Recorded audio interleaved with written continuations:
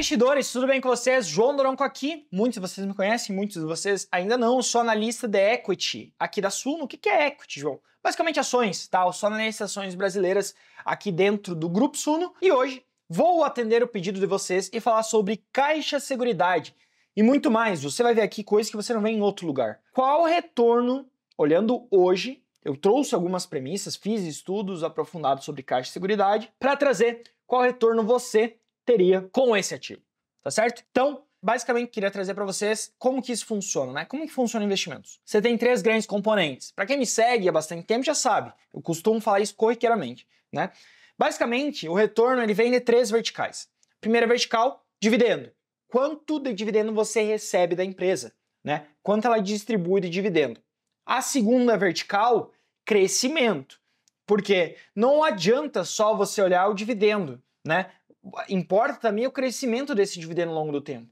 Ou de crescimento, e aí isso é pior ainda, né? E a terceira vertical, que é muito difícil de se opinar, é sobre múltiplo. Você pode ter uma compressão ou expansão de múltiplo. E isso depende muito do mercado, depende do, da taxa de juros, depende do fluxo. E por conta disso eu não me envolvo nesse aspecto, tá? Eu não tenho opinião, até porque é difícil você ter opinião sobre isso. Entretanto, as duas primeiras componentes é possível ter opinião, porque depende exclusivamente da empresa. O dividendo depende de quanto que ela lucra e quanto que ela distribui. O crescimento, quanto ela retém e quanto ela deve ter de retorno nesse capital retido. Então, vou trazer para vocês todas essas componentes, pode ficar bem tranquilo, vou ser bem didático, colocar todo mundo no mesmo patamar. Meu objetivo é que você entenda e antes do vídeo começar, só queria lhe convidar a se inscrever. Muitos de vocês não são inscritos no nosso canal da Suno. A gente publica muito conteúdo, muita coisa interessante para você. Então se inscreva, deixa um like nesse vídeo. É bastante trabalhoso fazer essa planilha trazer para vocês. Não custa nada vocês trazerem o like, isso divulga mais o vídeo para mais pessoas, leva a educação financeira mais além e coloca nos comentários qual a próxima empresa que você quer que eu analise, tá? Vou analisar Caixa Seguridade, a gente já analisou Itaú, já analisou Banco do Brasil, já analisou BB Seguridade nessa nossa série, coloca a próxima empresa. Sem mais enrolação, que eu não gosto de enrolação, vamos pro vídeo. E basicamente estamos aqui com a planilha, tá? Planilha quem fez fui eu, João Daron, mais uma vez segue lá nas redes sociais, tá? O primeiro é, tópico da planilha ou a primeira premissa que a gente tem é o ticker da empresa, Caixa Seguridade. E aqui ele está nessa caixinha mais rosa, né? Uh, quando a gente coloca esse ticker, a automação ela já busca diversas informações, como por exemplo, o preço por ação. O preço por ação hoje da Caixa Seguridade está em torno de R$ 14,23 por ação, tá certo? Segundo dado que ele traz é o número de ações em circulação, né? Então imagine que cada ação vale 14 e você tem 3 bi. Quanto vale a companhia inteira? Só multiplicar um pelo outro e esse número dá 42,7 bilhões. A Caixa Seguridade hoje vale algo como 42 bi,7 milhões. Tá certo? E aqui entra a primeira premissa, né?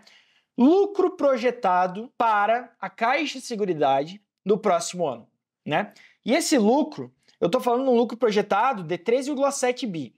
É, eu fui um pouco conservador nesse aspecto. Peguei as linhas de negócio que já estão dando receita e mantive elas e considerei um patamar um pouco mais normalizado que a gente viu nos últimos anos. Estou falando de um lucro projetado de 13,7 bi. Né? Se eu divido o lucro projetado pelo número de ações, eu chego no lucro por ação. Então, esse lucro por ação é R$ 1,23 o projetado para Caixa. O que, que isso significa, João?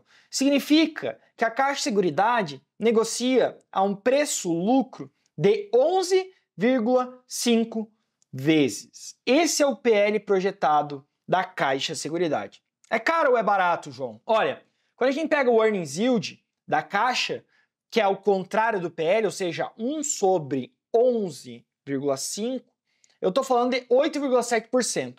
Então, você está ganhando de lucro 8,7% da Caixa de Seguridade. Esses 8,7%, parte ele vai ser distribuído para você e parte ele vai ser retido. A Caixa de Seguridade ela tem um modelo bastante interessante, muito semelhante à BB Seguridade. Inclusive, se você não viu o nosso vídeo sobre BB Seguridade, eu recomendo fortemente que você veja. A Caixa de Seguridade ela tem um payout bem elevado. 85% é o payout que eu estou projetando para o futuro, tá? Muito acima do que a gente viu em Banco do Brasil, muito acima do que a gente viu em Itaú. E por quê? Esse business não depende de retenção de capital para crescer. Ele consegue crescer sem necessidade de capital, né?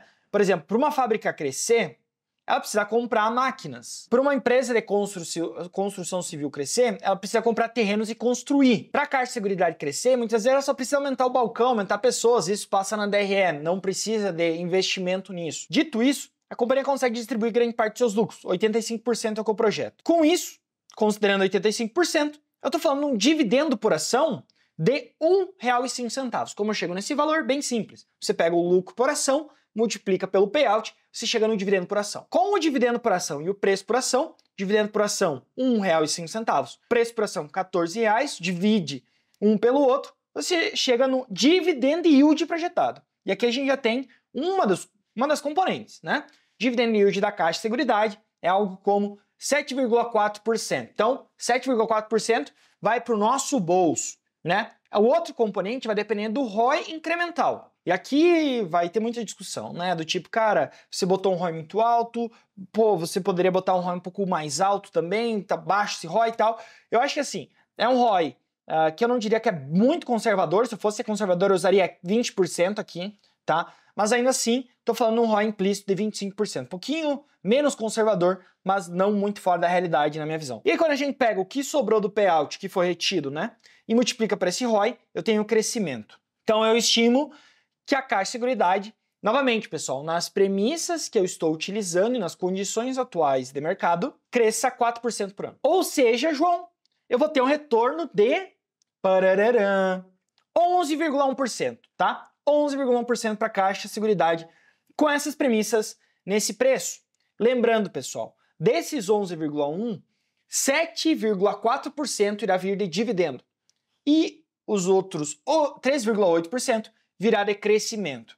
E aqui a gente pode brincar um pouco, tá? A gente pode, por exemplo, colocar esse ROI um pouco mais baixo, né, de 20%, como falei, um cenário mais conservador. Caixa de Seguridade traria um retorno de 10% ao ano, 10,4% ao ano. Se esse lucro projetado ele fosse um pouco mais em linha com o que o mercado espera, estaria falando 3,9, né? E a gente estaria um, e aí voltando para os 25%, estaria falando uns 11,5 de retorno, tá? É, é um retorno, sim, interessante, tá? 10, 11% de retorno, sem falar em múltiplos, ainda mais porque eu estou sendo bem conservador aqui. Esse é o cenário que eu desenho. Se você quiser tirar alguma dúvida, ver mais análises como essa, convido você a seguir joão.daronco nas redes sociais. Se você gostou desse conteúdo, não me conhecia, vai lá, dá uma olhada e segue. Não deixe de seguir aqui o YouTube da Suno, deixar um like e colocar nos comentários a sua opinião. A gente sempre lê a opinião de todo mundo, tá certo? E lembrar a vocês que nós da Suno estamos na Black Friday, o momento de maiores oportunidades dentro do mercado financeiro, em que você vai ter oportunidade de se tornar assinante da Suno em condições muito especiais. E sendo assinante da Suno, você vai ter análise de diversos ativos, recomendações, preço teto, plantões de dúvidas e muito mais. Então, o link está na descrição. Convido você que não é assinante a ir no link, clicar, olhar as ofertas que a gente traz para você. Se você é assinante, é uma ótima oportunidade para você renovar a sua assinatura, renovar os seus votos de casamento com a Suno, tá certo? E espero você lá, tá bem? Então, forte abraço a todos e vejo vocês no próximo vídeo.